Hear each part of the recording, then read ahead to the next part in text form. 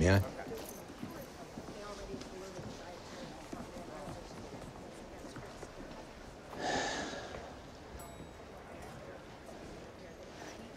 Your mother loves you very much. She barely knows me. Or my kids. She gave up everything after Dad's accident.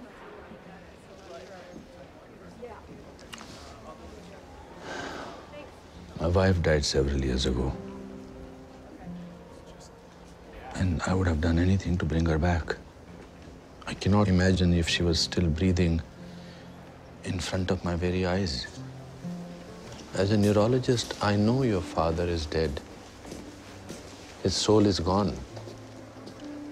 But even I would find it difficult to say goodbye.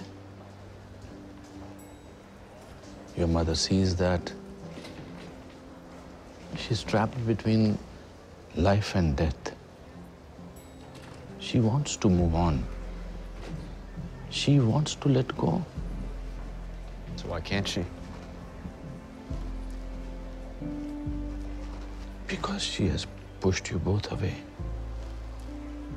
If she lets your father go once and for all, she believes she'll be truly alone.